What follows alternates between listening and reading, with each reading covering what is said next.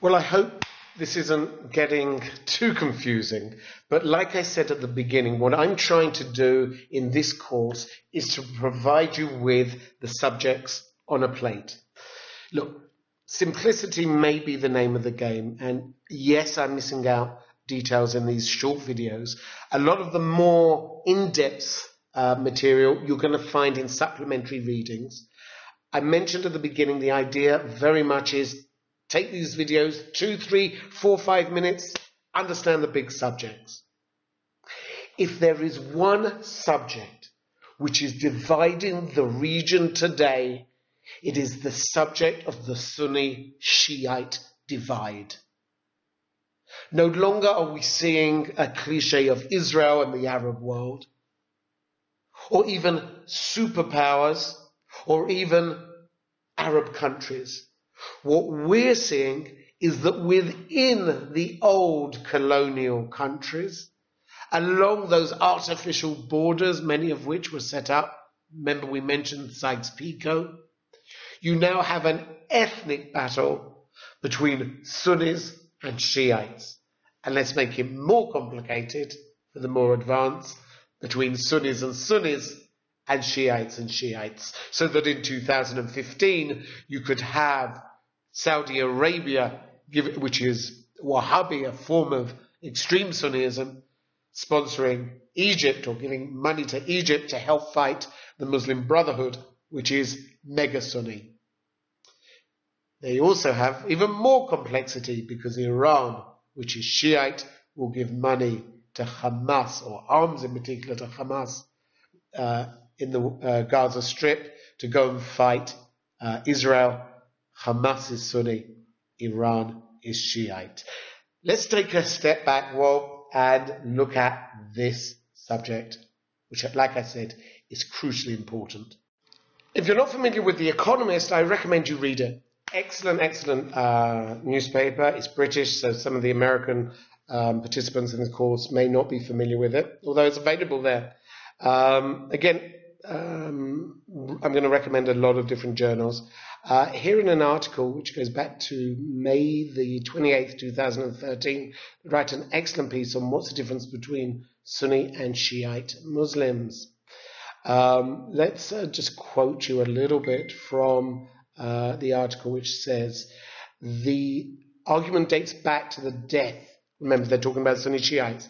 In 632 of Islam's founder, the Prophet Muhammad, tribal Arabs who followed him were split over who should inherit what was both a political and religious office. The majority, who would go on to become known as the Sunnis and take uh, today make up 80% of Muslims, backed Abu Bakr, a friend of the Prophet and father of his wife Aisha. Others thought Muhammad's kin the rightful successor. They claimed the Prophet had anointed Ali. His successor and his son-in-law, they be, became known as the Shia, a contraction of Shia Ali, the partisan of Ali. Abu uh, Bakr's backers won out though. Ali did briefly rule as the fourth caliph, the, little given, uh, the title given to Muhammad's successor. Islam's split was cemented when Ali's son Hussein was killed in 680 in Karbala, modern Iraq, by the ruling Sunni caliph troops. Sunni rulers continued to monopolize political power while the Shia lived in the shadow of the state. What you see here in this excellent article is a great definition of the difference between Sunnis and Shiites, um, and is going to be very relevant for what we're going to be talking about uh, a little bit later in the course. So let's just uh, give you that reference again. I'm going to include it in the course, which says what is the difference between the Sunnis and Shiites uh, in the Economist uh, uh, article uh, dated May the 28th, 2013. The difference between Sunnis and Shiites and the violent battle uh, is posing a number of issues for us today to try and understand the Middle East. First of all, it's going to pose that battle between Saudi Arabia and Iran, the superpower battle in the Middle East. But it's also making it very difficult to try and create some form of nation state within the region, because each one of the old states, the so-called colonialist states, if you like, um, have both Sunnis and Shiites and different tribes of Sunnis and Shiites. So it's not only the Sunnis and Shiites fighting each other, but they're fighting within. On top of that, what we're also going to see is an ethnic battle between different groups, not only the Sunnis uh, and Shiites. What you see here is an interesting map. Uh, it's a map of where the Sunnis and Shiites actually fall in the region itself. So what you're seeing here, in many ways, um, is going to be decisive when this whole region is redefined.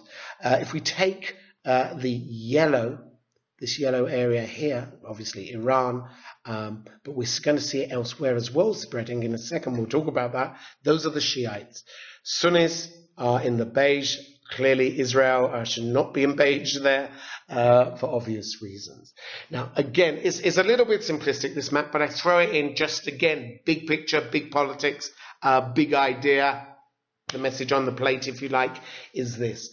Um, what you're seeing is one, let's have a look at a couple of things. If this is Iraq, this is Iran, what you can start to see is how much of the Shiite population um, is threatening to carve up Iraq. We're going to talk about Iraq separately, but here at this point of the course, let's just look about where they are. Another thing which I think is interesting uh, is that we always talk about Saudi Arabia being uh, Sunni or Wahhabi.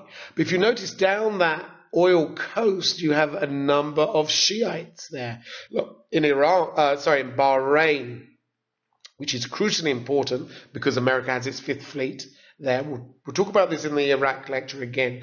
Um, Bahrain is run by a king who is Sunni, uh, majority is Shiite, which is going to have influence over the whole Gulf, which we'll talk about when we talk about Iraq. Now, let me just scroll down a little bit and hopefully we can show you uh, another phenomenon. If you have a look at what's going on in Yemen, remember there's a civil war. The Yemen issue, Sunnis and Shiites. Remember the Shiites are in yellow. This whole area here is going to be crucial because it's the oil route all the way up to the Suez, up to the Suez, uh, which is up the top there. So hold on. You have Gulf here with the Sunni Shiite uh, battle coming in, Iran, Saudi Arabia. You have Yemen come, like, whoa, you can start to understand really, really how important this whole story is.